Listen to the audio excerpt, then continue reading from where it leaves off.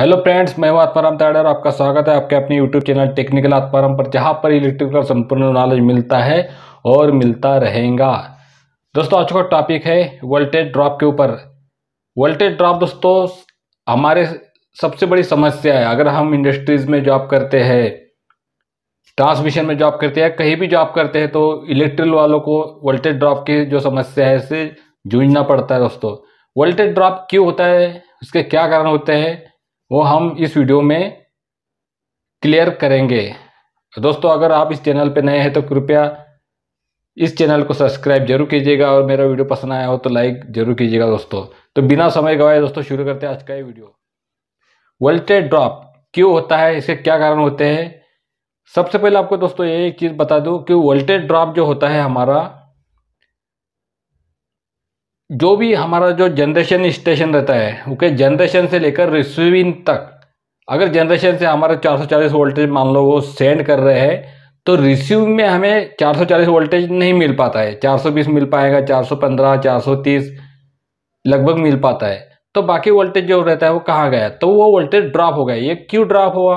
Drop इसलिए हुआ दोस्तों कि जो भी हमारे ट्रांसमिशन लाइन है या कोई भी मतलब कंडक्टर का जो भी डिस्टेंस आता है तो कंडक्टर का खुद का एक रेसिस्टेंस होता है, जिसके कारण क्या होता है, उसके खुद की जो कुछ लॉसेस होते हैं, उसके कारण क्या होता है कि जो वोल्टेज है, वो ड्रॉप हो जाता है। जितना बड़ा उसकी साइज़ रहेंगी लेंथ उतना बड़ा उसका वोल्टेज ड्रॉप रहेगा। यही कारण होता है कि हमारा बहुत सारा वोल्टेज कहीं ना कहीं वो ड्रॉप हो जाता है लॉस हो जाता है due to conductor length okay ये एक सबसे बड़ा कारण है दोस्तों।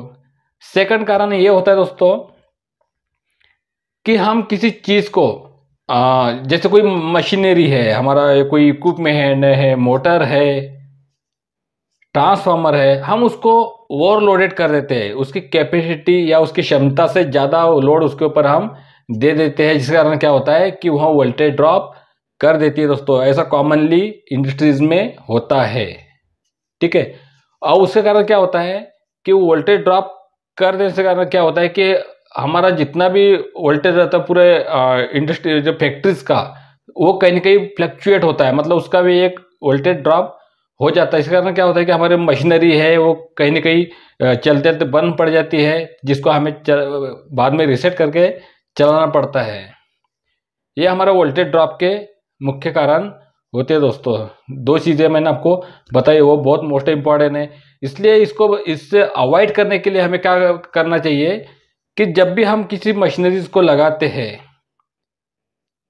तो ये इंश्योर कर ले कि उसकी जो दूरी है डेट मीन डिस्टेंस जो है वो पैनल से ज़्यादा लॉन्ग ना हो। अगर ज़्यादा दूरी पर लगा रहे तो उसके अकॉर्डिंग हमें केबल की साइज़ सेलेक्ट कर लेना चाहिए कि ज़्यादा उसमें वोल्टेज ड्रॉप ना हो।